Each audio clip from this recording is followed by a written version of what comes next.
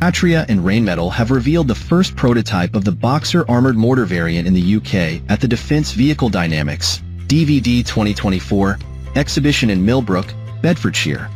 The new collaboration showcases cutting-edge technologies designed to enhance the British Army's battlefield capabilities, with a focus on mobility, firepower, and crew protection.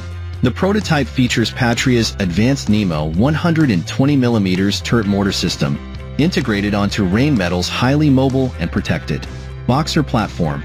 Among its key features, the armored mortar variant has a high rate of fire of up to 10 rounds per minute. It also offers fire-on-the-move capability, allowing the vehicle to engage targets while on the move, reducing its vulnerability to return fire. In addition, the system can engage both direct and indirect fire, adding flexibility to a range of combat scenarios.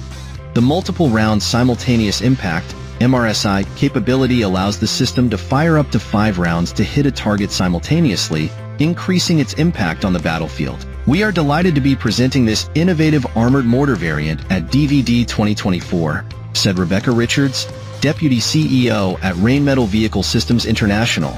This collaboration with Patria underlines our shared commitment to advancing military technology and providing the best equipment for the UK Armed Forces.